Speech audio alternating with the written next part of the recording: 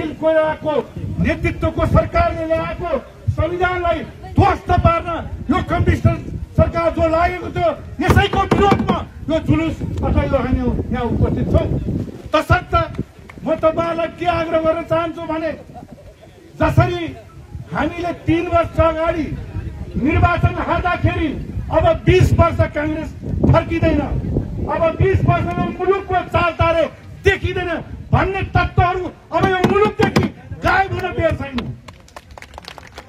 तर यसका लागि साथीहरू हाम्रो एकता बलियो चाहन्छु म। हामी नेपाली कङ्ग्रेस जति बेला पनि लोकतन्त्रको रक्षाका लागि प्रजातन्त्रको रक्षाका लागि लोकतान्त्रिक संविधानका लागि खडा रहन्छौँ अरू पुरुष साथीहरू काङ्ग्रेसहरू हामी जम्मा भएका छौँ।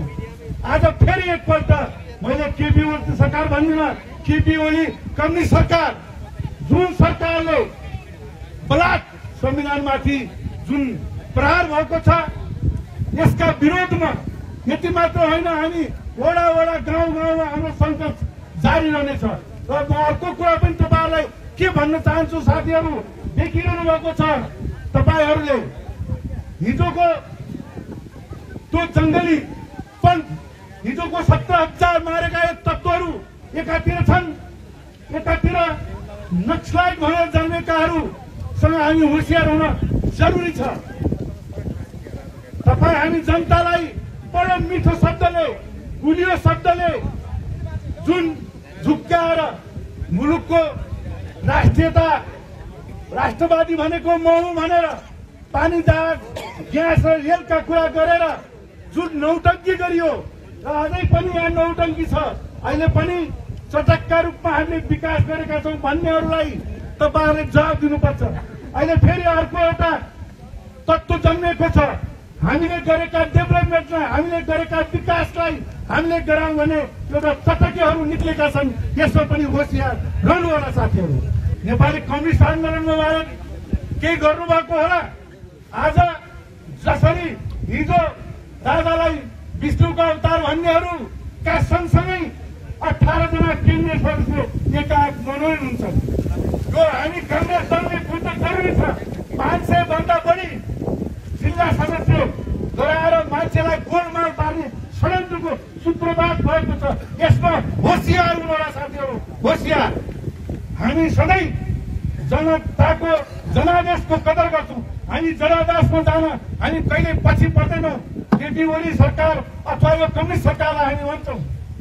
तिमीले बलात् संविधानमाथि कुठाराघात गरौँ। तथापि कहीँ कतै सर्वोच्चले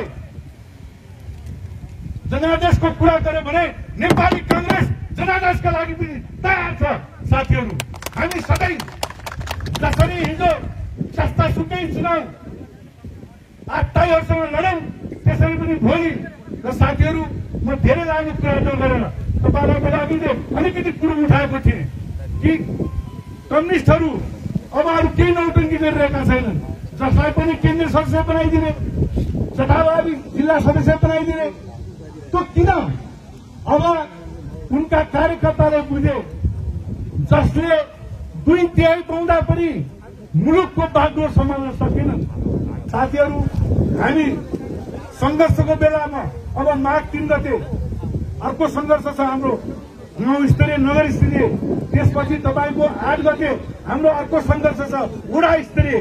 त्यो वडा वडामा हामीले आगो भने मैले हाम्रो झन्डा फहराउनु पर्नेछ र साथै आफ्नो सङ्गठनलाई बढाउनका लागि अत्यन्त गम्भीरतापूर्वक हामी जो हामीसित जसरी जनतालाई झुक्काएर केवल केवल यो खड्गवलीको नेतृत्वले एउटा काम गर्यो भ्रष्टाचार अर्को काम गर्यो झुक्काउने तपाईँलाई थाहा छ एउटा कुरा हामी जहिले पनि नेपाली कङ्ग्रेसले उनको गलत कामलाई गलत भन्यौँ सही कामलाई सही भन्यौँ एउटा एउटा नेपाली नक्सा देखायो यसो चुच्चो थपेर थप्यो र हामी जनताले राम्रै काम गर्न लाग्यो मुलुकको लागि भने हाम्रो पार्टीले त्यसलाई स्वीकार गर्यो।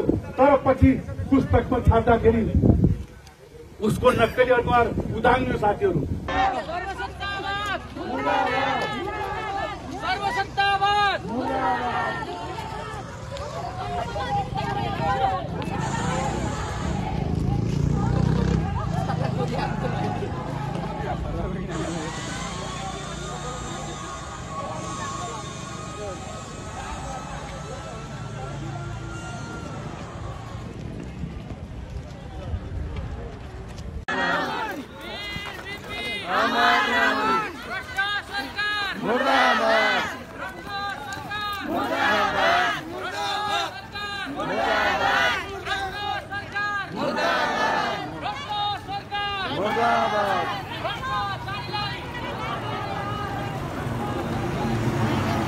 चलेकै छ चलेकै छ चलेकै जय नेपाल। जय नेपाल। जय नेपाल।